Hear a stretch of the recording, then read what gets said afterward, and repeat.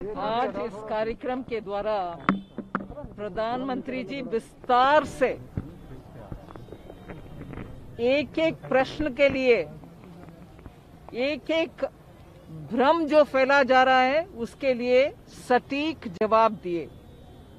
और जवाब देने के बाद भी उन्होंने ये स्पष्ट कर दिया कि जिन लोगों के मन में और भी प्रश्न है उनसे खुला मन से बात करने के लिए सरकार तैयार है।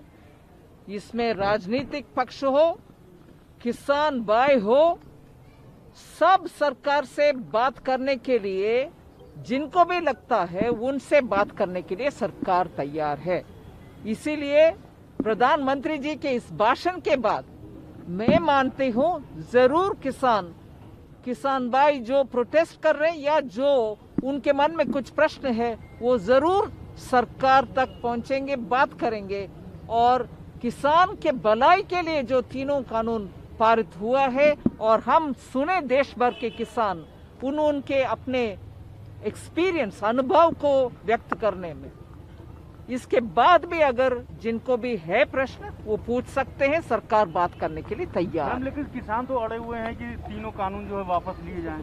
नहीं इसीलिए तो प्रधानमंत्री जी इतने विस्तार से बोले हैं वो बात करना चाहिए। मैम आज आप लोगों ने अठारह हज़ार करोड़ रिलीज़ किए नौ करोड़ किसानों के लिए।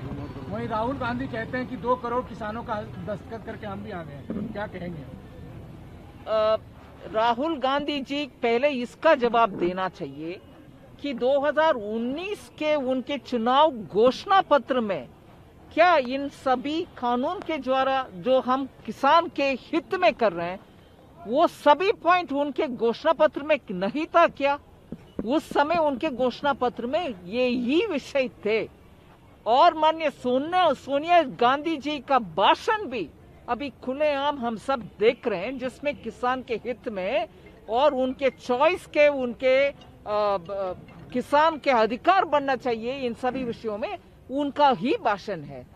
क्या अभी ये सुधार क्योंकि मोदी जी ने किया है, उसको विरोध कर रहे हैं कांग्रेस वाले ने?